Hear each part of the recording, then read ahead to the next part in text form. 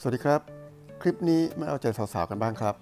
มาเคลือบเคส iPhone โดยตกแต่งด้วยดอกไม้แห้งกันครับ ในคลิปนี้เราใช้เคสแบบแข็ง ลองหาซื้อมาทำกันดูนะครับ ใช้ดอกไม้และใบไม้แห้ง จะทำเอง หรือจะหาซื้อมาก็ได้ครับ ก่อนเคลือบต้องเช็คระดับโต๊ะ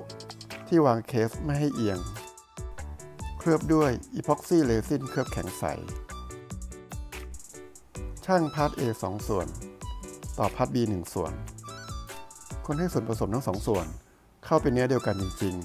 ๆ รับชมคลิปของเราแล้ว อย่าลืม Subscribe เป็นกำลังใจให้เรานะครับ ทิ้งไว้ให้ส่วนผสมอุ่นประมาณ 3-5 นาที เทส่วนผสมบนเคส ตกแต่งด้วยดอกไม้และใบไม้แห้งที่เราเตรียมไว้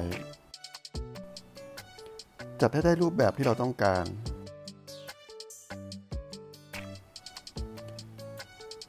ใช้ผู้กันจุ่มส่วนผสม ทาทับของตกแต่ง แล้วเคลือบให้ได้ความหนา มีความนูนสวย เราประมาณ 20-30 นาที ใช้ใส่พ่นไล่ฟองอากาศเราให้แข็งตัวประมาณ 12 ชั่วโมง เราก็จะได้เคส iPhone สวยแบบธรรมชาติ จากดอกไม้จริง ลองทำใช้เอง จะนำไปเป็นของขวัญหรือทำขายก็ได้ครับ สนใจสั่งซื้อสินค้า หรือมีคำถามเพิ่มเติม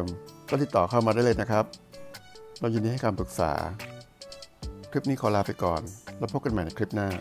สวัสดีครับ